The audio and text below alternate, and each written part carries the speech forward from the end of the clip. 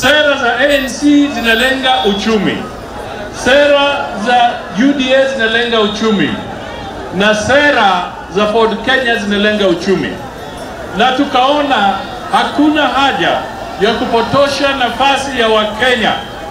Sisi tushikane mara moja, tulenge uchumi, tubadilishe uchumi wa Kenya, tutoe Wakenya kwa fuliza na tutoe serikali kwa fuliza, kwa sababu serikali inafuliza kule juu na hiyo homa imeingia kwa mwananchi wa kawaida.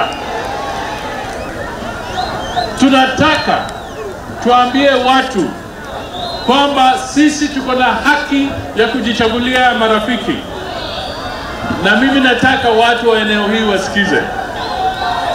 Mwaka wa 2002 mwaka wa 2002 Unaona vile imeshikwa, acha tufike next mimi nilibeba project ya Uhuru, Ruto akabeba project ya Uhuru. Ana ana nini ana Tulianguka na hiyo project ama hatungeanguka? Si tulianguka? Si tulianguka? Sasa sisi tunauliza Uhuru, wewe kama unajua tabu ya kuwa project, mbona unaletea Wakenya project?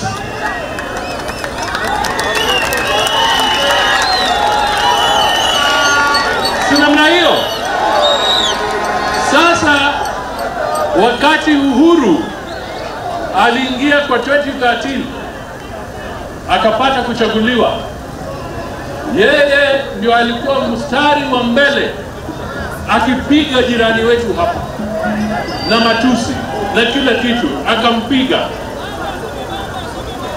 Sasa alipomaliza hiyo, yeye amemaliza muhula wake wa tambili mbili, inakwisha August. Sasa wewe Uhuru, mbona wakati huo ulikuwa unasema mambo tofauti, na sasa wewe ndio unatuletea jambo, unatuletea jambo. Mimi nimesaidia Raila, Weta amemsaidia Raila, lakini sisi tunauliza, na ni lini Raila atatusaidia sisi?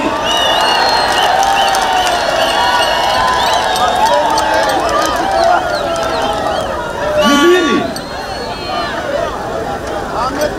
Kwa hivyo sisi tunasema hii mambo ya Uhuru kukuwa patron wa Azimio, yeye ndio patron, alafu anasukuma Tinga, alafu anasema anataka achague vice president, yaani yeye abaki kama chairman wa Azimio, project ya Azimio, na sisi wengine tukae kando.